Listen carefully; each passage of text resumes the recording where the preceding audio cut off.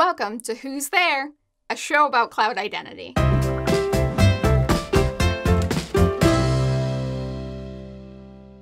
In the last episode of Who's There, I talked about why Identity Platform is awesome and how to enable it in your GCP project. Today, I'm showing you how to integrate Identity Platform into your iOS app in Swift. If you haven't enabled Identity Platform yet, I recommend you check out the last episode of Who's There before proceeding. You also need an iOS app. In Xcodes, start with an existing app or create a new single view app. And if iOS isn't your jam, then check out the Getting Started videos for Android or web, both linked below. All right, with all the prerequisites out of the way, let's get started. In the Cloud Console for my project, I've selected the Identity Platform tab. I previously added email and password authentication. If you haven't added this yet, click Add a Provider and select Email Password.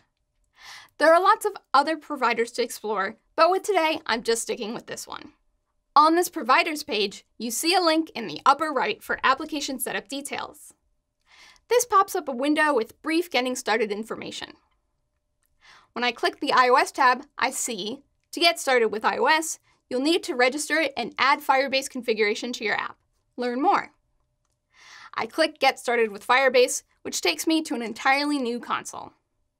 Some of the information is the same as the Cloud Console, like project name and ID, but then there are all these new tabs down the side that say Develop, Quality, Analytics, and Grow, and the big pop-up in the middle asking about data sharing.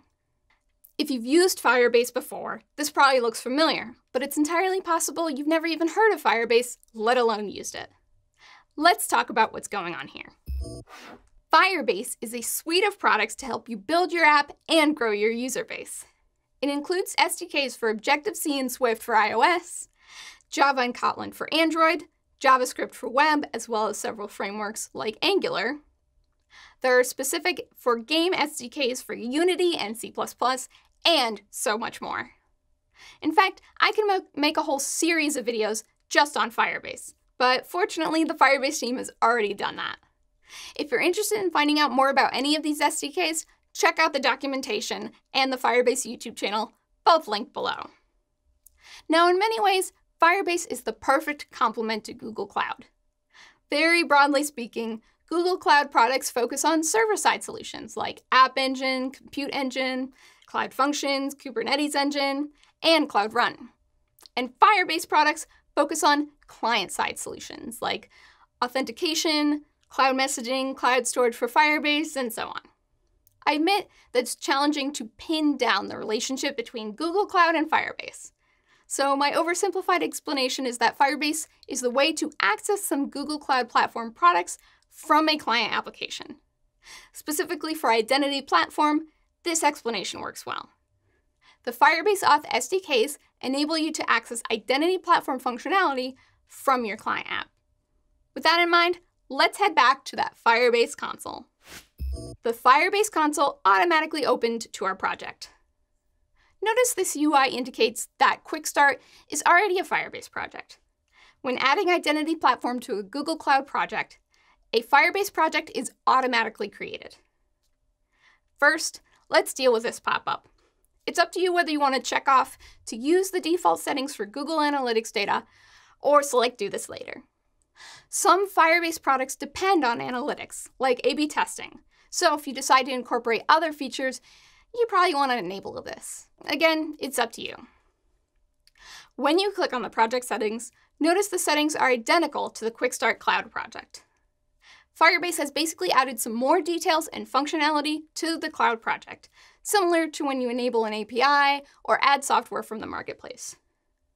Since you want to add Identity Platform to an iOS app, select Add App iOS. This gives you a window with a series of steps to follow.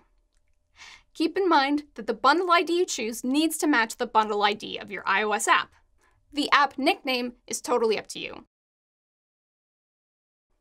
I won't provide an App Store ID since I don't have one yet, but if you do have one, feel free to add it here before creating the app. I'm now prompted to download a Google Service Info plist file. This file informs my iOS app about my Firebase app so I can interface with Firebase products. Once downloaded, add this to your iOS project. Click Next in the console, and it gives the next step. Add the desired pods. So I will be using CocoaPods to add the required dependencies, but you can add the required code without CocoaPods. Check out the guide linked below to find out how to install the SDKs without CocoaPods. Okay, initialize a new pod file and then open it. Add the Firebase auth dependency, and then save the pod file. Close Xcode to prevent strange behaviors that can rarely happen when running CocoaPods while the project is open. Then, run pod install. Open the created XC workspace. All right, in the project, in AppDelegate, import Firebase. This smart import will only import the dependencies you need, so you don't really have to import Firebase auth specifically, for example. In the did finish launching with options function, initialize the Firebase app using firebase app.configure. This initializes the Firebase app using the settings provided by the Google Service Info plist file. Okay, you can now use the Firebase Auth SDK to sign up, log in, log out, and get user info about an identity platform user. Identity Platform gives you access to many different login providers, including federated identity providers like Google, Facebook, and Twitter. You can enable several login methods for an app, allowing your users to authenticate the way that they prefer. Some login methods may require additional steps, which are listed in the console when you enable that login method. See the documentation below for information on how to implement other login providers. For now, let's get back to implementing email and password login. Back in the Cloud Console, create a fake user with a test email and a test password. Of course, you can also create a new user from the client, but this is a good way to get us up and running really quickly. See how to create a user in your iOS app following the link below. Back in your iOS app in Xcode, go to the view did load for your view controller.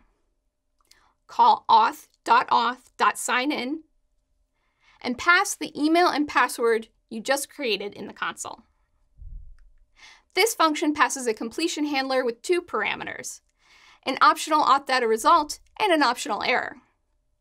Auth data result is the result of sign-in requests containing both the user and some additional user info. First, I check that auth data result has a value, and if it doesn't, log the error. Otherwise, I can do whatever I need to do with the user. Right now, I'll just log that user's UID. Now, of course, my example thus far is not a complete auth solution. You need a way for users to create accounts, handle password resets, and log out. Each of these functions needs some UI development as well. If you prefer, you can write all this functionality yourself using the Firebase SDKs. The related documentation is linked below. But you also have the option to use the Firebase Auth UI module. This open source UI was created by auth specialists at Google. It includes all of the views you would need to create an account, log in, log out, and reset password, which you can incorporate in just a few lines of code. And you can override the view controller classes to change the appearance of your login. Whether you make your own UI or use Firebase UI, you will very likely need a way to know the auth status before programming any app actions. For example, you're going to want to check if there's a user logged in before writing to the database. That's where Firebase Auth Listener comes into play. Let's look at how to implement it. I create a function I'm calling listen for auth changes. In this function, I call auth.auth.addStateChangeListener. This function passes a closure with an optional user and optional error. Handle the error if one is found. Then, do what you need with this user, like assign the value of a class's user to the logged in user. For the purpose of this example, I'll just log the user email. Then, I'm actually going to log out so you can see the state change listener closure be triggered again. I put the code to log out in this separate function here called logout. I run the app, and the console logs show that the user is logged in and then logged out. Congratulations, you just added Identity Platform to an iOS app. Ready to see what else Identity Platform can do? Check out the Firebase Auth iOS guides, Auth Quick Start Code, and the Firebase YouTube channel.